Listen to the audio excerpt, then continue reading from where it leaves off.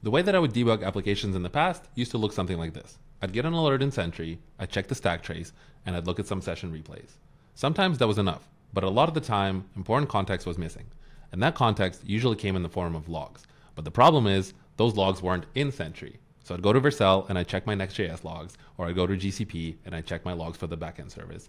And then I try to put the pieces together. But from time zone differences between the server and the user actions and things just not ending up, there was a lot of noise and not enough signal.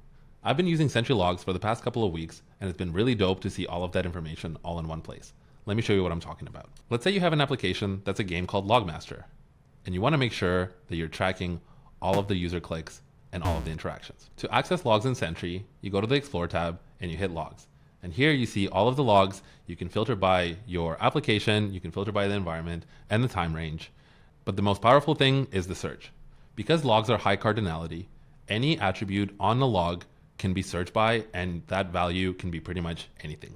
So if we look at a log destroyed log, you can see attributes that Sentry passes along by itself, but then all of the attributes that you set on that log. And with our data scrubbing functionality, things like credentials will be automatically filtered out. So now if I search for a specific player ID, I can get all of the logs associated with that player. To get set up with logs in your application, all you have to do is enable logs in your Sentry init, and then you can also bring in some integrations. For example, I have the console log integration to get all of the logs from my console to Sentry. And in the game, you can import the Sentry logger and pass along any information that you want to it. And now when you're debugging an error, you get the stack trace, you get the session replay, and you also get all of the logs associated with this error. This is super important. And beyond just regular debugging, you can set up alerts and dashboards like anything else with Sentry and monitor your application in so many different ways. Logs are generally available across pretty much all of the SDKs that we support.